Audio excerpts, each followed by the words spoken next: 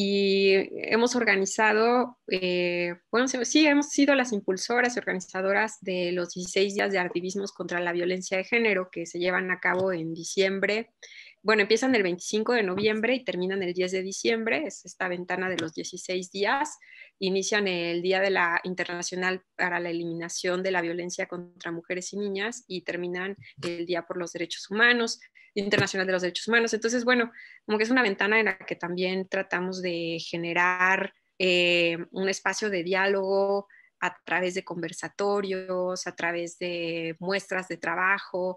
Y el año pasado hicimos dos actividades, eh, dos actividades que tenían que ver también con, con, posicionarnos desde la creatividad. Una de ellas, pues fue una colaboración que hicimos con el Instituto Mexiquense de, perdón, el Instituto Morelense de Radio y Televisión, el INRIT, y pues nos permitieron hacer, nos unimos para hacer unas cápsulas eh, radiofónicas de imaginación feminista. Y bueno, pues básicamente fueron 16 eh, cápsulitas, una para cada uno de estos 16 días más o menos con una duración de un minuto, en la que nos inspiramos eh, pues en este trabajo de Orson Welles de ir contando, hacer, ¿no? hacer como una narración que entra en los hogares, habita de pronto en el imaginario social y que por ese solo sentido ya se vuelve posible, ¿no? Le llamábamos utopías también por eso, porque eran noticias, mini noticias donde se hablaba de cosas que quisiéramos que sucedieran, ¿no? Una de las noticias hablaba de la despenalización del aborto, por ejemplo. Había otra noticia en la que nosotros hablábamos de un programa de la SEP en el que se enseña a los padres a ejercer la paternidad y a los niños a tener prácticas de convivencia no violenta.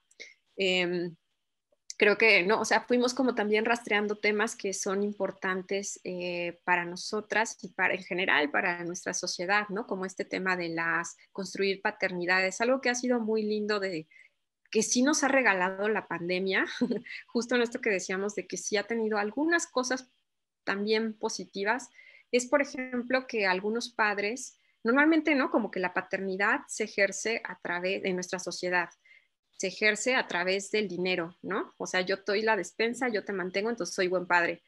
Y eso es algo que eh, ha privado a los hombres también, ha privado a los hombres de tener una experiencia de contacto con sus hijos. Y también ha normalizado esta idea de que la, madre es quien puede eh, hacerlos crecer, quien, quien, sobre quien cae toda la labor educativa de cuidado, de alimentación, etc. Entonces, bueno, eh, algunos padres que ahora han estado en pandemia con sus hijos han explorado esta posibilidad otra o estas posibilidades otras de ser padres, ¿no? Algunos que han tenido hijos durante la pandemia, pues han descubierto todo ese universo que tiene que ver con criar, ¿no? Y eso me parece que es muy positivo. Entonces, bueno, esa era como otra noticia, ¿no? Que, se iba a impulsar a nivel gubernamental, desde la primaria, las, ¿no? Desde la, la escuela, otros modos de ser eh, y bueno, había muchas noticias eh, de diversa índole, paridad cultural, por ejemplo, era otra noticia. Se anuncia la paridad cultural, es decir, si hacemos un evento cultural, pues tiene que haber 50% de mujeres, 50% de hombres, porque todavía encontramos en muchas exposiciones, pues una, o eso, que, que hay, eh, no siempre están representadas las mujeres o sigue siendo un, número inferior. entonces, bueno, había ahí una serie de, de noticias que tenían que ver con contrastar lo que ahora es nuestra realidad a través de la imaginación, ¿no? Posibilidades de otro mundo. Y esas capsulitas estuvieron saliendo en el INRIT durante esos 16 días. Y mm, te digo, además tuvimos una serie de conversatorios, encuentros con artistas, una videomuestra, también hicimos una videomuestra de trabajo de artistas morelenses y em, hicimos nosotras también para este evento un recorrido por la, un recorrido sonoro por la ciudad de Cuernavaca con una consigna